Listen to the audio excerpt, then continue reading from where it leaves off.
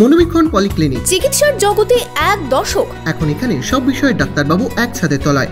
Phone করুন seven four triple seven nine nine five one five এই নম্বরে। ভরদুপুরে মর্মান্তিক দুর্ঘটনা কান্দিতে। বাইকের সাথে চার চাকা গাড়ির সংঘর্ষে মৃত্যু হলো এক স্কুল ছাত্রী ও এক তরুণের।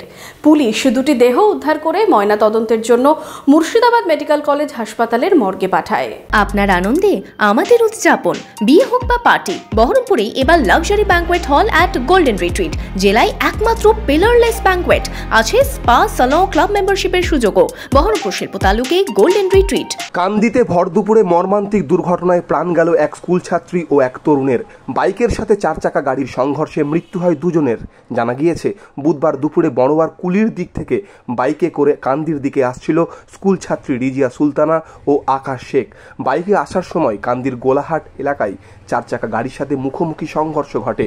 গুরুতর আহত অবস্থায় দুজনকে উদ্ধার করে কান্দি মহকুমা হাসপাতালে নিয়ে যাওয়া হলে চিকিৎসকরা দুজনকে মৃত বলে ঘোষণা করেন।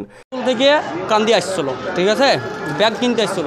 যশোরে ঢোকার আগে অ্যাক্সিডেন্ট অ্যাক্সিডেন্ট এখন কীভাবে হয়েছে সেটা আমরা সঠিক বলতে পারছি না। স্কার্পোর সাথে অ্যাক্সিডেন্ট এনারা বাইকে আসছিল না কোনো টুকটুকিতে আসছিল সেটা সঠিক আমরা বলতে পারছি না। ওরা আসছিল কুলি থেকে কান্দি।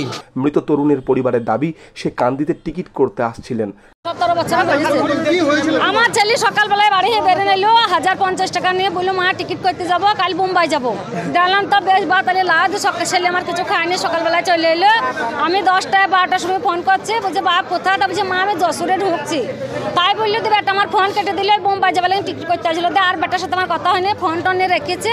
আর আমার একটা বড় যা এসে বলছে তোমার আকাশ মরে গেছে এক পর্যন্ত কথা আমি আর কিছু জানি না। এবার মেয়েটা কে হয় কোথা বাড়ি কি শুনতে আমি কিছু জানি না। পুলিশ দেহ উদ্ধার করে ময়না তদন্তের জন্য পাঠায়। মৃত দুজনেই বড়ুয়া থানা এলাকার বাসিন্দা।